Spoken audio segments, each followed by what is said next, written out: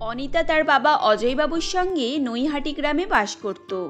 অজয়বাবু পেশায় একজন কবিরাজি ডাক্তার ছিলেন। আর প্রথম দিকে অনিতা তার বাবা মায়ের সঙ্গে বেশ আনন্দের সঙ্গেই বাস করছিল। কিন্তু অনিতার বয়স যখন বারো বছর ছিল, তখন তার মা কল্যাণী দেবী হঠাৎই হৃদরোগে মারা যায়। আর তখন থেকেই অনিতা একাই বাড়ির কাজ সামলে এসেছে। এমনই একদিন সকালে অজয়বাবু বাজার করতে গিয়েছিল। তখন এই যে দাদা, মটন কত করে যাচ্ছে? আমাকে কিছুটা দিন তো দেখি। আসলে আজ রবিবার তো, তাই ভাবলাম মাংস হলে মন্দ হয় না।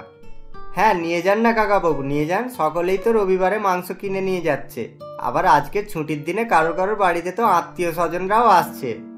আরে না না, সেরকম কোনো ব্যাপার নয়। আসলে আমি এমনি শখ গেলেই মটন খেয়ে থাকি, হে হে। তারা যখন কথাবার্তা বলছিল, ঠিক সেই সময় রতন নামক এক ঘটক মশাই সেখানে আসে। ও সে এসে অজয়বাবুকে বলে, এই যে অজয়বাবু, আমি আপনাকেই খুঁজছিলাম। এখন রবিবার ছাড়া তো আপনার সঙ্গে আবার দেখাও করা যাবে না। তাই এখানে যখন দেখাই হয়ে গেল, তা বেশ ভালোই হলো। কেন, কি দরকার ছিল যে আমার সঙ্গে আপনি দেখা করতে চাইছেন? বাড়িতে কেউ অসুস্থ আছে নাকি কোনো ওষুধ লাগবে? আরে না না, আমার কোনো ওষুধ টষুধ লাগবে না। আসলে আমি আপনার মেয়ে অনিতার জন্য একটা ভালো পাত্র দেখেছি। ওরা শহরে থাকে, খুব ভালো ব্যবসা আছে। আপনি বিয়ে দিলে আপনার মেয়ের কোনোই অসুবিধা থাকবে না। আর আপনি বলছিলেন না যে আপনার বাড়িতে আত্মীয় আসেনি? তা আজ আমরা কয়েকজন আপনার মেয়েকে দেখতে যাচ্ছি। আপনি এখন বেশি করে মাংস কিনুন, বুঝেছেন? হ্যাঁ সে ঠিক আছে, কিন্তু ঘটক মশাই, আমি তো অনিতার বিয়ের ব্যাপারে এখনও পর্যন্ত কিছু ভাবিনি। হ্যাঁ এতদিন হয়তো ভাবেননি, কিন্তু এবার তো ভাবতেই হবে। অনিতার বিয়ের বয়স তো হয়েই গেল। তা পাত্রপক্ষ খুব ভালো বুঝেছেন। আর এদিকে আমার অনিতা মাজা ভালো মেয়ে, আপনি দেখবেন ও ঠিকই মানিয়ে গুছিয়ে নেবে। আচ্ছা তাহলে ঠিক আছে, আমায় একটু সময় দিন, আমি কালই আপনাকে জানাচ্ছি। এই বলে অজয়বাবু সেখান থেকে নিজের বাড়ি ফিরে আসে। এরপর অজয়বাবু সেদিন সারা রাত চিন্তাভাবনা করে। ও শেষে সে অনিতার বিয়ে দিতে রাজি হয়ে যায়। এবং অল্প কয়েকদিনের মধ্যেই অনিতার সৌরভের সঙ্গে বিয়ে হয়ে যায়। বিয়ের পর অনিতা সৌরভের সঙ্গে তার শ্বশুরবাড়ি চলে যায়। সৌরভের মা অর্চনা দেবী এবং তার একমাত্র বোন রিমা তাকে বরণ করে ঘরে তোলে। বিয়ের পরের দিন অনিতা ভোর চারটের সময় উঠে পড়ে ও সে মনে মনে ভাবে, আজ আমার শ্বশুরবাড়িতে প্রথম রান্না, তাই আজকে আমাকে মন দিয়ে সকলের জন্য রান্না করতে হবে। সঙ্গে কিছুটা পায়েসও বানাতে হবে। এরপর অনিতা বাড়ির সকল কাজ করার সঙ্গে সঙ্গে রান্নাটাও সেরে নেয়। তখন, কি ব্যাপার, আটটা বাজতে যাচ্ছে। এরা তো এখনও দেখছি কেউ ঘুম থেকেই উঠছে না। এদের তাহলে সবারই ঘুম থেকে দেরি করে ওঠা বদ অভ্যেস আছে। এরপর অনিতা বেশ কিছুক্ষণ সোফাতে বসে থাকে। এরপর ঘড়িতে সাড়ে আটটা বাজলে অর্চনা দেবী এবং রিমা ঘুম থেকে উঠে আসে এবং অর্চনা দেবী বাড়ির সব কাজ হয়ে গেছে দেখে বলে এই যে বৌমা এত সকাল সকাল বাড়ির এত কাজ কে করল? আর তুমি কখন উঠেছো? আমি অনেকক্ষণ আগে উঠেছি মা। আর আমি বাড়ির সব কাজ করেছি। আসলে মা আমি গ্রামে থাকতাম তো তাই আমার ভোর চারটের সময় ওঠার অভ্যাস আছে। আর আজও আমি ভোরবেলাতে উঠে বাড়ির সব কাজ করে নিয়েছি। এমনকি আমার সমস্ত রান্নাও হয়ে গেছে। আরে বাহ বৌমা তুমি তো আমাদের বাড়ির সব নিয়ম পাল্টে দিয়েছ। তুমি কি জানো এর আগে আমাদের বাড়িতে এত সকালে কেউ ওঠে না। আমরা সকলে তো আটটার পর ঘুম থেকে উঠি। হ্যাঁ বৌদি মা ঠিকই বলেছে। তারপর আমরা উঠে নিজেদের জন্য ব্রেকফাস্ট তৈরি করি। কিন্তু আজ দেখছি তুমি তো অনেক সকালেই ব্রেকফাস্ট রেডি করে ফেলেছো। হ্যাঁ এমনিতেই বিয়ের পর নিয়ম অনুযায়ী তো আজ আমাকেই রান্না করতে হতো। যাও তোমরা বরং তাড়াতাড়ি ফ্রেশ হয়ে এসো। আমি টেবিলে তোমাদের জন্য ব্রেকফাস্ট রেডি করছি। এরপর সৌরভ রিমা এবং অর্চনা ফ্রেশ হওয়ার জন্য চলে যায়। আর এদিকে অনিতাও তার বানানো সুন্দর সুন্দর খাবার টেবিলে সাজিয়ে দেয়। কিছুক্ষণের মধ্যেই তারা সকলে ফ্রেশ হয়ে আসে এবং খাবার টেবিলে বসে। আরে বা বৌদি লুচি আর আলুর দম বানিয়েছো? এটা তো আমার ফেভারিট অনেকদিন পর আজ লুচি আলুর দম খাব। আজ সকালটা বেশ জমে যাবে। তুই একদম ঠিক বলেছিস রিমা। তা অনিতা তুমি কি আরও কিছু স্পেশাল খাবার বানিয়েছো? আজ দুপুরে আমি সকলের জন্য ফ্রাইড রাইস আর চিলি চিকেন বানিয়েছি। আর সঙ্গে একটু পায়েসও। কি পায়েস? আমার তো পায়েস কথা শুনেই জিভ থেকে জল চলে আসছে। এমনিতেই আজ আমি অফিস থেকে ছুটি নিয়েছি তাই আজ দুপুরে বাড়িতে জমিয়ে লাঞ্চ করব। এভাবেই কথোপকথনের মধ্য দিয়েই তারা সকলে ব্রেকফাস্ট করছিল। ঠিক তখনই অর্চনা দেবী বলে বলি বৌমা কাল থেকে এত ভোরে তোমাকে উঠতে হবে না। এমনিতেই এই শীতের সময়। ভোরবেলা তো আরও ঠান্ডা থাকে। কোথায় শরীর খারাপ হয়ে যাবে? না মা আমার তো ছোট থেকেই ভরে ওঠা অভ্যেস আছে। শীত গরম বর্ষা সে যখনই হোক না কেন আমার কিছুই সমস্যা হয় না। ওহ মা তুমি বৌদিকে মানা করছ কেন? বৌদি যদি ভোরে ওঠে তো কি হয়েছে? এটা বৌদির অভ্যাস এটা তুমি চেঞ্জ করতে বলো না। এরপর থেকে অনিতা প্রতিদিনই ভোর চারটের সময় ঘুম থেকে উঠে বাড়ির সকল কাজকর্ম করে নিত। এভাবেই কয়েক মাস কেটে যায়। কিন্তু এখন অনিতা ভোরবেলা ঘুম থেকে উঠলেও বাড়ির কাজ না করে বসে বসে টিভি দেখে এবং ফোন ঘাটে। এমনই একদিন অর্চনা দেবী আটটার সময় ঘুম থেকে ওঠে ও সে তখন তার বৌমাকে ফোন ঘাঁটতে দেখে বলে এই যে বৌমা আমি কয়েকদিন থেকে লক্ষ্য করছি। তুমি ভোরবেলায় ঘুম থেকে উঠেও বাড়ির কোনো কাজ না করে বসে থাকো আর ফোন ঘাটো। আচ্ছা এখন তুমি এরকম কেন করছ বলো তো? আমি শুধু একা কেন ভোরে উঠে সকলের জন্য কাজ করব। সকলে একসঙ্গে কাজ করলে তো তাড়াতাড়ি হয়ে যাবে তাই আর কি? ও আচ্ছা এই ব্যাপার? তাহলে তুমি শুধু শুধু ভোরে উঠে কি করো? ওই টিভি দেখি একটু ফোন দেখি নাহলে একা একা কি করব। তোমরা তো কেউ ভোরে উঠতেই পারো না আমি একা বসে বসে বোর হয়ে যায় ভোরে উঠতে পারি না মানে? তুমি কি ভেবেছো? তুমি একাই ভোরে উঠতে পারো? কাল থেকে আমিও ভোরে উঠব।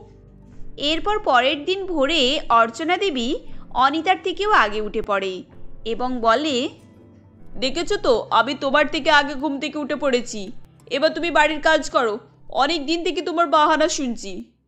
মা তুমি এত ভোরে উঠেই যে কালে পড়েছো তাহলে আমার সঙ্গে একটু যোগাসন করে নাও। শরীর একদম ফিট থাকবে। আমার বাবাও তাই বলে ওই জন্য আমি রোজ ভোরে উঠে যোগাসন করি।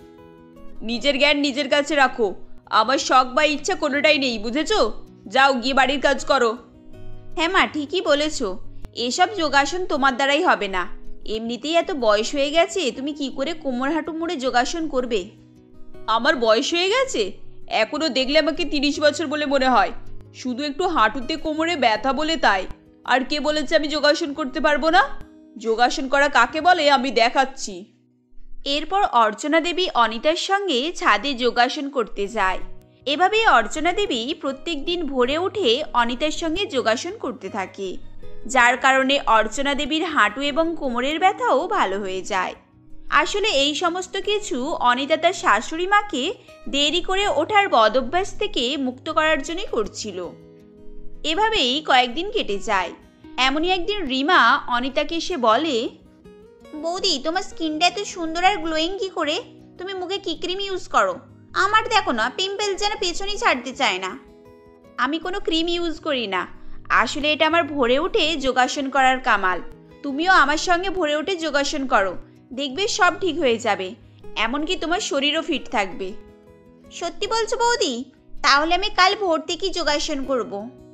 এরপর পরের দিন থেকে রিমা এবং অর্চনা দেবী অনিতার সঙ্গে প্রতিদিন ভোরে উঠে যোগাসন করতে থাকে। যার কারণে রিমাও তার মুখের পিম্পলের সমস্যা থেকে মুক্তি পায়। এরপর রিমা বলে সত্যি বৌদি তুমি না থাকলে আমাদের ভোরে ওঠার অভ্যেস কোনোদিনই হতো না। আর ভোরে ওঠার যে এত উপকারিতা সেটাও আমরা কোনোদিন বুঝতে পারতাম না। হ্যাঁ রিমা তুই ঠিকই বলেছিস। যেই দিকে আমি রোজ ভোরে উঠে যোগাসন করছি সেই দিকে আমার হাঁটু আর কোমরের ব্যথাও সেরে গেছে। দেখলে তো মা যোগাসনের ম্যাজিক আমি তোমাদের এটা বোঝানোর জন্যই ভোরে উঠেও বাড়ির কোনো কাজ করতাম না। আমি যদি প্রতিদিনের মতো কাজ করে নিতাম তাহলে তোমরা ভোরে ওঠার অভ্যেস করতেই পারতে না। কখনো কখনো একটু ভালো কাজ করানোর জন্য নিজেকে খারাপ হতে হয়। হ্যাঁ বৌমা, তুমি ঠিকই বলেছ। এবার থেকে তো আমরা নিয়মিতই যোগাসন করব। অর্চনা দেবী তার কথা অনুযায়ী পরের দিন থেকেই সত্যি সত্যি ভোরবেলা ওঠে ও সেও অনিতার কাজে সাহায্য করতে থাকে। এভাবেই অনিতা নিজের সঙ্গে সঙ্গে বাড়ির সকলকেই ভোরে ওঠার অভ্যাস করিয়ে দেয়। যার ফলে তারা সকলেই খুশি ছিল। আর তারা এভাবেই হাসি খুশিতে সকলে মিলেমিশে বসবাস করতে থাকে। রাত্রি এগারোটার সময় ছিল। সেদিন কামিনী দেবী তাড়াতাড়ি খাওয়া দাওয়া শেষ করে ঘুমাতে গিয়েছিল। তার ঘুম প্রায় লেগেই এসেছিল। ঠিক তখনই দরজার কড়া নাড়ার আওয়াজ হয় ও তার ঘুম ভেঙে যায়। সে মনে মনে ভাবে, হে ঈশ্বর, এ কি মুশকিল কি জানি? এই এত রাত আবার বাড়িতে কে এলো? কিন্তু দারোয়ান নাথুরাম তো এত রাতে বাড়িতে কাউকে ঢুকতে দেবে না। তাহলে এখন কে বাড়িতে এলো? আরে দরজা ঠোকা বন্ধ করো আমি আসছি। এই বলে কামিনী দেবী বিরক্তের সঙ্গে বিছানা ছেড়ে ওঠে। ও গিয়ে দরজা খুলে দেখে সেখানে তার একমাত্র ছেলে পরিমল দাঁড়িয়ে আছে। কামিনী দেবী পরিমলকে দেখে বলে ও তুই এসেছিস? তাই তো বলি আমাদের ব্যানার্জি বাড়িতে এত রাতে দরজা ঠোকার সাহস কে পেল? আয় বাবা আয় বাড়িতে আয়। তা এত রাতে হঠাৎ এলি যে কোনো জরুরি দরকারে এলি নাকি? মা তুমিও না আসতে না আসতেই নানান প্রশ্ন করো। আগে আমায় বাড়িতে ঢুকতে দাও তারপর না হয় এটা সেটা জিজ্ঞাসা করবে। হ্যাঁ রে বাবা হ্যাঁ আয়। আমি তো ভুলেই গিয়েছিলাম যে আমিই তোকে ডেকেছিলাম। তোর জন্য যে অনেকগুলো মেয়ে দেখে রেখেছি হ্যাঁ হ্যাঁ। আসলে কামিনী দেবী ঠিকই বলছিল তাদের মুখার্জি বাড়ি চুপড়িজলা গ্রামের খুবই ধনী এককালীন জমিদার বাড়ি ছিল। আর তাই সেখানে হঠাৎ করে কেউ ঢোকার সাহস পেত না। কামিনী দেবী ওই বিশাল বাড়িতে তার ছেলে পরিমলকে নিয়েই থাকতো। পরিমল ব্যবসা সূত্রে বেশিরভাগ সময় গ্রামের বাইরে কামিনী দেবীকে সেখানে একাকেই থাকতে হতো। সেজন্যই কামিনী দেবী পরিমলকে বিয়ে দেওয়ার জন্য গ্রামে ডেকেছিল। এরপর পরিমল বলে কি বলছো মা? আমার বিয়ে দেওয়ার জন্য মেয়ে দেখছ? কিন্তু তুমি যে বললে তোমার একা থাকতে বিরক্ত লাগে তোমার একটা বৌমার প্রয়োজন তাই তো আমি সুতিকে বিয়ে করে নিয়ে এলাম। কি? এ তুই কি বলছিস? তুই বিয়ে করে নিয়েছিস নাকি? কিন্তু কেন? কি এমন জরুরি অবস্থা পড়েছিল? হ্যাঁ মা ওরকমই ধরতে পারো। আর জানোই তো আমাদের জমিদার বাড়িতে একটি রীতি আছে যে আমরা কারোর দুঃখ কষ্ট থেকে থাকতে পারি না। আর সুতির বাবা খুবই গরিব ওর বিয়ে দেওয়া তো দূরের কথা ভালোভাবে ওদের খাওয়াও হতো না। আর এদিকে তুমি বৌমা বৌমা করছ তাই আমি চিন্তা ভাবনা করে সুতিকেই বিয়ে করে নিয়ে এলাম। এই যে সুতি, একটু এদিকে এসো। পরিমল ডাকার সঙ্গে সঙ্গেই নববধূ সাজে সুন্দর দেখতে একটি মেয়ে সেখানে চলে আসে। আর সেটি অন্য কেউ ছিল না, সেটিই শ্রুতি ছিল। শ্রুতিকে দেখতে খুবই সুন্দর ছিল, কিন্তু সে গ্রামেরও দারিদ্র হওয়ায় কামিনী দেবীর খুবই রাগ হয়। ও তখন সে বলে, এই, এ তুই কাকে বিয়ে করে নিয়ে এসেছিস? এর পরনে তো একটা ভালো শাড়িও নেই। ওহ, মা, তোমাকে তো আগেই বললাম যে ওরা খুবই দারিদ্র। এখন দামি শাড়ি কোথা থেকে পাবে বলো? তুমি একটু বোঝার চেষ্টা করো। পরিমল এ কথা বললে কামিনী দেবী তাৎক্ষণিক চুপ হয়ে যায়। কিন্তু তার মনে তখনও শান্তি আসে না। সে প্রত্যেক সময়ই শ্রুতির ভুল খুঁজতে থাকে।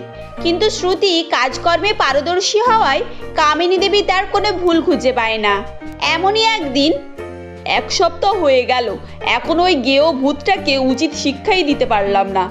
ও তো নিজের কাজে কোনো ত্রুটিই রাখে না।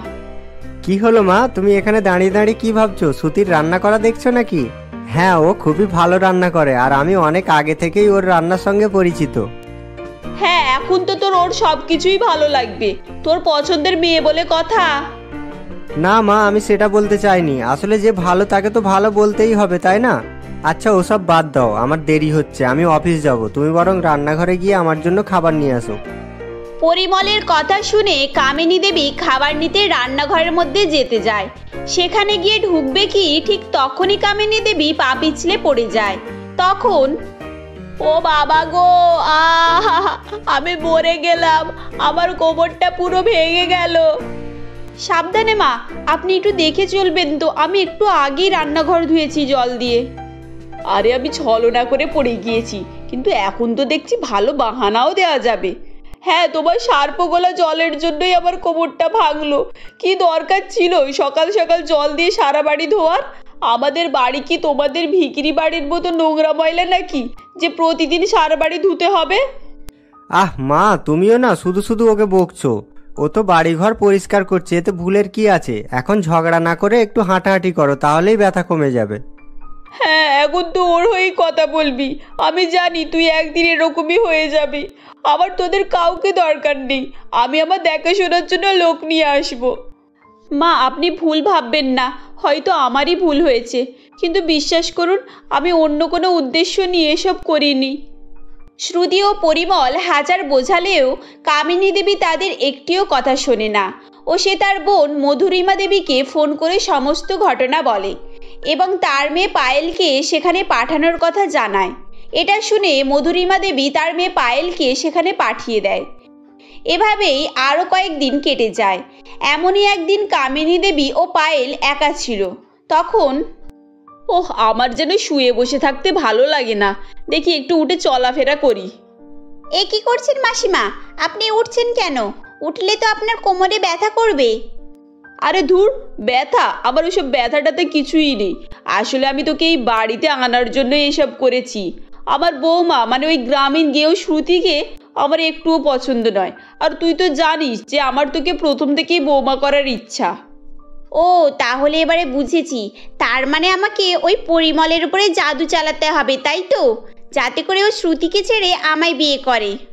হ্যাঁ একেবারেই ঠিক বুঝেছিস। আমার ছেলের বিয়ে আমার পছন্দে হবে। পরিমল আমার পছন্দে বিয়ে করেনি, তাতে কি হয়েছে? একদিন আমি আমার পছন্দের মেয়ের সঙ্গেই ওর বিয়ে দিয়ে ছাড়বো হ্যাঁ হ্যাঁ। এভাবেই তারা সেদিন এক অভিনব পরিকল্পনা করে। এরপর পরিকল্পনা অনুযায়ী পায়েল চলতে থাকে। সে সবসময়ই পরিমলের সামনে ভালো সাজার নাটক করত এবং বাহানা করে তার সঙ্গে কথাবার্তা বলার চেষ্টা করত।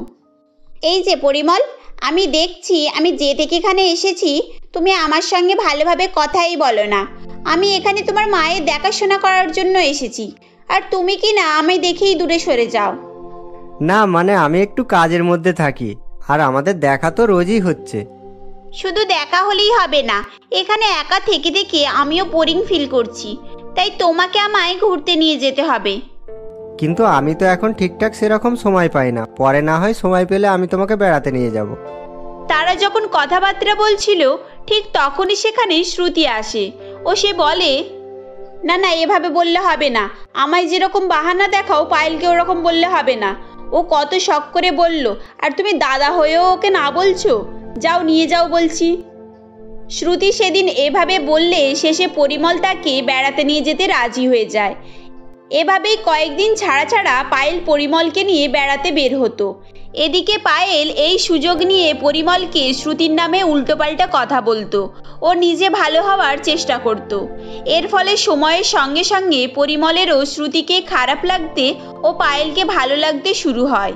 একদিন হ্যাঁ পায়েল, তুমি ঠিকই বলছো। আমার প্রথমেই তোমার কথা শোনা উচিত ছিল। তাহলে আমি তোমার মতো এই স্মার্ট কেয়ারটেকার বউ পেতাম। এখন তো ওই গ্রামীণ আনকালচারটা আমার মাথা ব্যথা হয়ে গিয়েছে। কি হলো তুমি কিছু বলছো না কেন? আমি কি কিছু ভুল বললাম নাকি? হ্যাঁ এই তো। এবারে আমার মনস্কামনা পূরণ হয়েছে। আমার তো মনে হচ্ছে এ আমার জালে ফেসে গিয়েছে। না ভুল বলনি। কিন্তু এভাবে বললেই তো কিছু হয় না। তোমাকে আমায় পছন্দ থাকলে আমায় বিয়ে করতে হবে। হ্যাঁ আমি রাজি আছি। তোমায় পাওয়ার জন্য আমি সব কিছু করতে রাজি আছি। আর আমায় নিয়ে কে কি ভাববে সেটা আমি দেখতে যাব না। পরিমলের মুখে এরকম কথাবার্তা শুনে পায়েল খুবই খুশি হয়ে যায়। ও সে কামিনী দেবীর কাছে গিয়ে ব্যাপারটি জানায়। কথাটি শুনে কামিনী দেবীও খুব খুশি হয়ে যায়। এগুলো সবটাই শ্রুতি জানতো। আর সে এতদিনে বুঝে গিয়েছিল যে তার শাশুড়ি মায়ের তাকে অপছন্দের কারণেই এগুলো হচ্ছে। কিন্তু এতে তারও কিছু করার ছিল না। তাই সে দুঃখী মনে কোনো উপায় না পেয়েই সেখানেই থাকতো। এভাবেই আরও কয়েকদিন কেটে যায়।